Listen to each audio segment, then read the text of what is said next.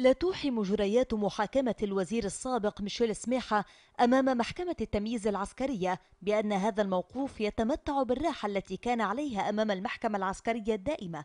فالإجراءات مختلفة ومسار المحاكمة نقيض ما قبله. إذ أن سميحة لم يقف هذه المرة أمام قوس المحكمة كما اعتاد على ذلك إنما وضع اليوم داخل قفص الاتهام.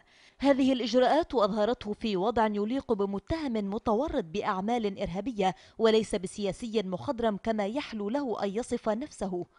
الجلسة التي ترأسها القاضي طوني لطوف بحضور وكلاء الدفاع عن سميحة باشرت بتلاوة القرار الاتهام الذي يروي قصة تورط سميحة بعملية نقل المتفجرات من سوريا إلى لبنان ولقاءاته بالمخبر ميلاد كفوري الذي كان ينسق معه بكيفية تسليم تلك المتفجرات لتنفيذ عمليات اغتيال بحق شخصيات دينية وسياسية.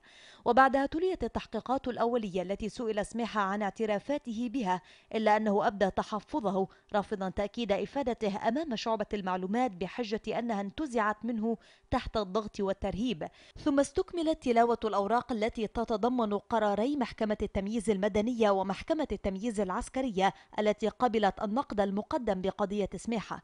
وهكذا خرج محامي سميحة صخر الهاشم ليطلع الإعلاميين عن إرجاء محكمة التمييز العسكرية إلى السابع عشر من أيلول المقبل متابعة استجواب سميحة. كلف فرع المعلومات بإبراز وبتسليم المحكمة جميع الأشرطة والتسجيلات الموجودة لديها وإحالتها إلى قيادة الجيش لتفريغها. نحن هلأ طلبنا نستمع لميلاد الكفوري لأنه أصبح شاهد بطل مخبر لأنه قاضي التحقيق بالأساس حولوا من مخبر إلى شاهد لأنه استدعاه.